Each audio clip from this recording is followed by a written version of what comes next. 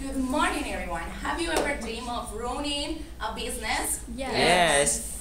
Make this reality, uh, make this dream a reality, can be exciting and rewarding. Today, I want to discuss with you some of the benefits of owning your own, your own business.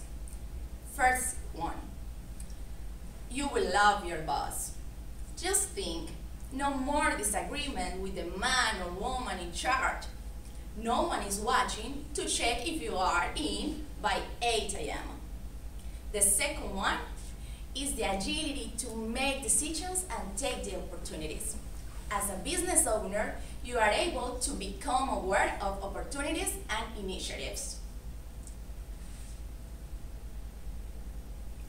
I can speak on my own experience because I don't know a business, but my boyfriend does.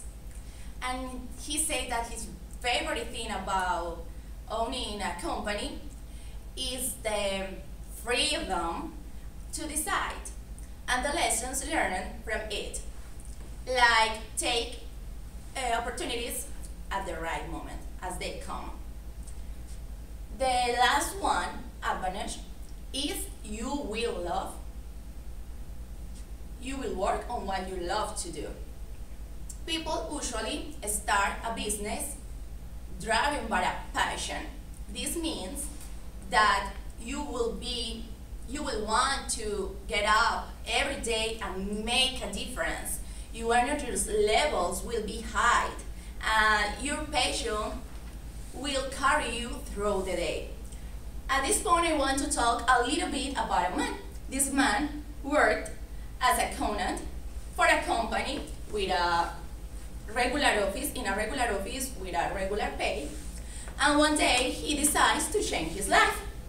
And by selling shoes on the back of his car wagon. Ten years after, his small business just grew up and is and now on is the world largest shoes and fitness company ever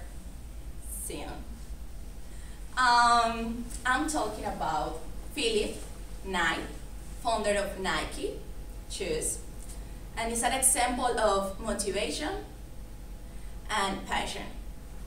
As conclusion, owning your own business can be having you with a smile on your face every Monday.